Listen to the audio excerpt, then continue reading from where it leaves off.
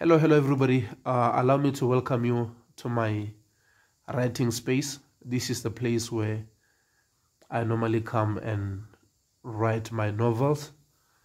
I am busy working on my first novel. This video is not going to be professional, but I just want to share some stuff with you guys so that if you don't make stuff, there will be no stuff. You need to create things. Um, it's early in the morning, guys. I've been waking. I've been just trying to record some content earlier. So, but now I've been focusing on my first novel. As you can see now, I am working on it. Let me just put it this way so you can see. It's it's it's it's not about the chapters. It's not about the paragraphs it's about words.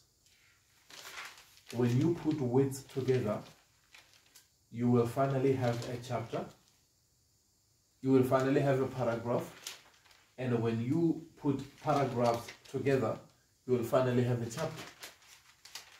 Because most people, they don't want to write with their hand. So it's, it's, it's totally cool to write with your hand because you see I've got some exercises books that I am using a lot to write. What I'm trying to tell you guys is that having a book idea or having a book in your head, it's not a book, it's an idea. Until you sit down and you put it on paper, that's when you have a first draft of a book and you don't have to worry much about the spellings. People are struggling a lot when it comes to writing because everyone writes according to the way they feel. So don't worry much about the spellings. Don't worry much about the wrong words. Just keep on writing until you have the paragraph that you want you go back, you look at the paragraph and you work on it until you will have a chapter. You come back and you work on your chapter. Then later when you're done with your story, because you're writing a story, when you're done with your story, you will come back and put the chapters according to the way you want the chapters to be. So don't feel pressured when you see books like this written and when you check the pages, you find that uh, there is 375 pages is bare, equal. And you start stressing yourself about how will I get to that number. Don't worry about 375 pages. Worry about putting together your story. You need to know your story. And you need to record your story. Don't be afraid to record your story, but you need to understand that a recording audio of your book is not going to be the same like writing because there are two different things. A spoken word when you speak it on audio it sounds unique. It sounds like a finished product. But when you pen it down it's different because of when you're writing the characters are starting to develop. They are going to different places. So it's very important for you guys to write when you see it. There are people who say, I have the story, I already recorded the story, and I just want to write it exactly the way I recorded my story. It, it, it, it, it differs because for me, I need to see it. Although I know the whole story, but I need to see it. If I can see it, it's easy for me to write it in a way that I can paint you a picture that when I tell you about this story that happened, you can see it. And that helps for the film uh, directors if they pick your novel to become a movie later so that they will see the whole picture because you already made it easy for them. You paint the picture because for me, I'm not just writing a novel, I am writing it so that tomorrow it can become a book, it can become a movie. You know what I'm saying? So, the first thing, guys, you need to respect the process, trust the process, don't rush it. Take your time. Don't look at a book which is like this and you say, I want to write a book as quick as I can. And many people, they want to jump to the softwares without writing with the hand first. And each and every greatest writer, they started by using a pen. That's how it all started. The likes of Shakespeare, that's where it all started. You need to take your time, guys, and understand that a spoken word is different than a, a written word. Because when you write it, that's where it changes automatically. You know what I'm saying? And we all know that English is not our mother tongue.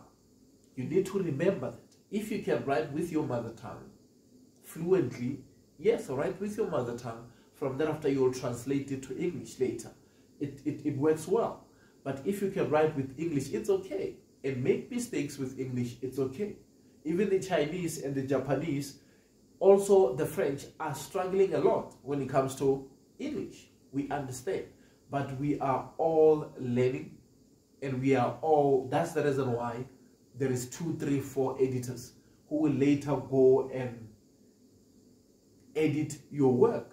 It's simply because of they know there will be errors, they know there will be mistakes. So don't worry much about mistakes because if you worry about mistakes, you are not going to finish your book. You need to tell your story because all these books I am reading, but there is there is still a gap for my story. And you can still write your story because somebody wants to hear your story. You don't want to be that person who is regretting 20 years later or 30 years later and you're like, you know what, I should have written my book. I should have told my story my way. Because if you don't tell your story, somebody will tell your story. So it's better if you tell your story your way. So today I just sat down and I decided, guys, how to write a book is simple. You write a book by start putting a weight by weight by weight. And I don't know how I, I can explain it. You have to write and write and write until you get it right. No one sit down and start writing a book and get it right the first time. The more you write is the more you learn things. And the more you learn, you upgrade your skill and you become a great writer. So if you want to write a book, if you want to write a novel, tell your own story because nobody knows you better than you. There are so many things which are happening in our lives. We just have to tell stories and storytellers will tell stories regardless, then that's where it will be a thing of a skill and a gift. When you are so gifted, that's when you can put together those paragraphs in a way that when a reader reads your book, they get the picture, they understand. Because there are people who are just telling stories, and there are people who are showing you by telling you a story. And that's where I am right now. I am writing with my pen but making sure that I want you to see what I'm writing. Because I struggle so much, guys, for me to put this, because this was originally a movie. But I couldn't get anybody to help me with the movie. So I decided it will be better to write it as a novel. And once it's a novel, it's easier to go and publish it. And I can go to all these different places and start telling them, guys, have you read my book? This is my book and I want you guys to work with me and I want to make a movie. Because you can keep on talking and telling people about I'm writing a movie, I'm writing a movie, I'm writing a book. But if you don't write it and finish it, no one will take you serious. Write a, movie, a book, have a copy, or write your movie, but I prefer it to write a book first, have a copy, and go somewhere with a finished product. That's where people sit down with you and they want to negotiate the percentage or the price with you. But if you keep on telling people that I am writing a book, I am writing a book, you're not going to write a book. And you will be surprised by the, the, the, the books that people are writing out there. People are writing books about, about birds. The story about two birds. People are writing about animals. People are writing books that when you read it, you're like, but this book, but it's a book. It's a book. So it's just up to you if you want to write a generational book or you just want to write a book because everybody is writing a book. The book that I'm writing, it was it was just about me, but I decided, you know what, I want to put together two books. And my book is a story about a mother and a son. It's it's storytellers will tell stories regardless, guys. I just decided to share this with you because I'm still in the process, I'm still writing. So I just don't want to give away everything. But the book will be will be one of the books that people will read for many years ago, even after I'm gone to this earth.